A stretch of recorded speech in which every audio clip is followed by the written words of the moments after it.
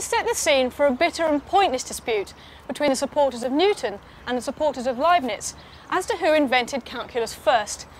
As we've seen, both were leading figures in the creation of calculus as a powerful working theory, but they were by no means the only contributors. Descartes, Fermat, Wallis, Barrow and Pascal all played key roles. It was a truly international effort which was started by Descartes and Fermat at the beginning of the 17th century. It was developed in later centuries by other French mathematicians.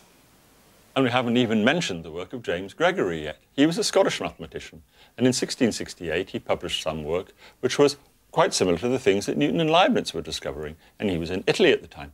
But his work was even harder to read and wasn't much appreciated in his lifetime, I'm afraid. The Newton Leibniz dispute became more and more acrimonious and contributed to a growing divide between mathematicians in Britain and those in Europe. The dy by dx notation wasn't used in England until the 1820s. And only after a campaign which involved Charles Babbage, the inventor of the calculating engine, finally it was introduced into English mathematics. And by then, long after the deaths of Newton and Leibniz, yet another notation had been developed, back where our story began, in France. By the early 19th century, a new notation was introduced by Lagrange in Paris, which was again the center of the mathematical universe. Lagrange called the gradient derivative of f and noted it f dashed x. Today, the two notations dy by dx and f dashed x are used almost interchangeably. The result of all these new ideas is today's calculus. So, if we want to find the gradient of a curve at any point on the curve, we use the derivative notation f dashed of x or dy by dx, and in many cases there are standard formulas.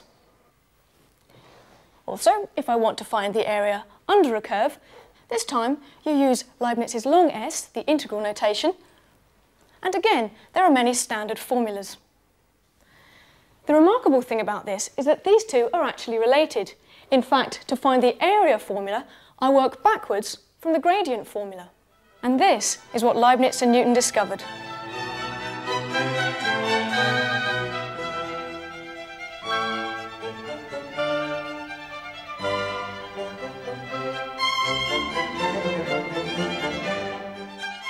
There's a bit in the Principia that I very much like, right at the end of the preface, where Newton says, And I heartily beg that what I have done may be read with forbearance, and that my labours, in a subject so difficult, may be examined, not so much with a view to censure, as to remedy their defects.